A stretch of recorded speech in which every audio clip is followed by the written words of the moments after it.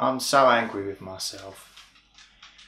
But two weeks ago, when I made that last video, I had terrible problems with my microphone. The lead kept coming out. So I just recorded like 20 minutes of footage holding the microphone in my hand like a news reporter. And uh, I just went and listened to it back.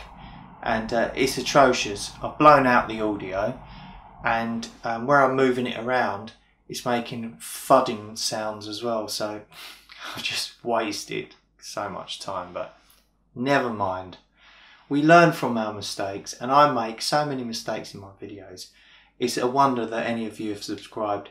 And those that have, I want to say a massive thank you, especially for those that watched my last video for the Pipamoka and left really positive comments and liked the video. I really did appreciate it, so thank you. This video is super short. I'm not reviewing any products. I just really wanted to show you the products that I've got this week.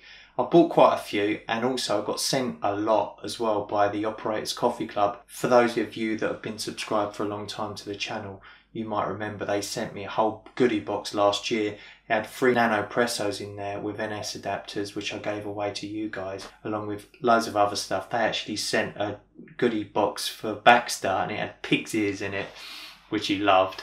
They've sent me some more stuff. They sent me the new version of the Nowpresso, which boils the water in half the time. It's got loads of upgrades on it. It won a design award. It should be really good, so I'm looking forward to reviewing that. Because I'm not into Nespresso pods really, um, I prefer grinding my coffee fresh. Um, I went online and I bought, I think they're called seal pods, quite expensive.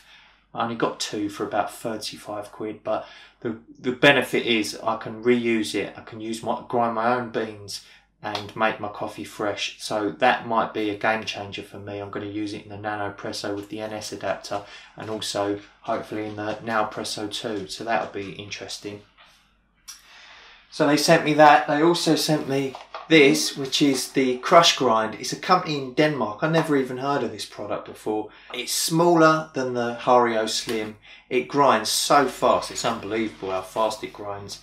And uh, it looks really good great value for money when you compare it to other ones on the market. I'm tempted to do a side-by-side comparison between the Hario Slim, which I've used for years, and the Crush Grind. What I like about it, the lid just drops drops on the side like, and it's held it with a strong magnet and uh, really portable. But anyway, I can show you that later if you're interested.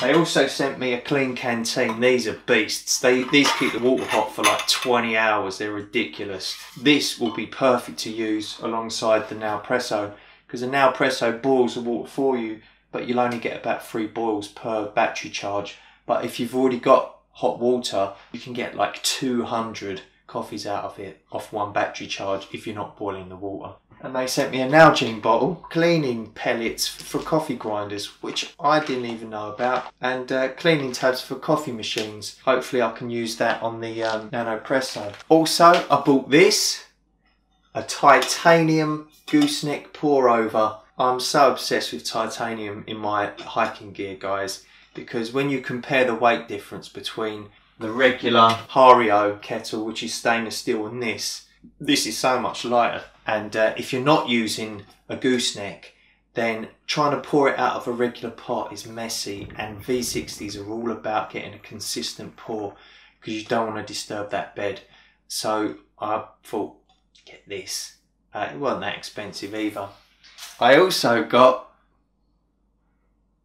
titanium wire. It's two millimeters because my plan is to basically try and make one of these out of titanium that collapses down, pancakes flat, so I can slip it in my uh, cook kit. I've actually got a 3D printer. I was playing around with some ideas yesterday. The idea is that I can have it flat and then who knows. Uh, I also bought a uh, titanium windshield from AliExpress as well. Uh, that hasn't arrived yet. Um, what else?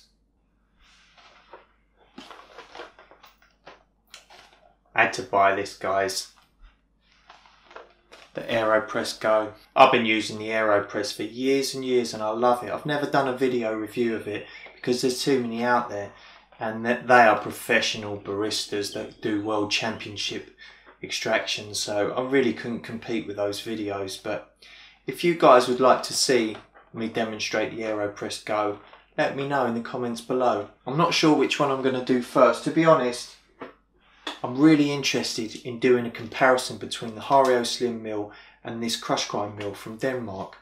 Um, maybe I could go out into the woods with the AeroPress Go and kill two birds with one stone maybe. Let me know in the comments below if that sounds interesting to you.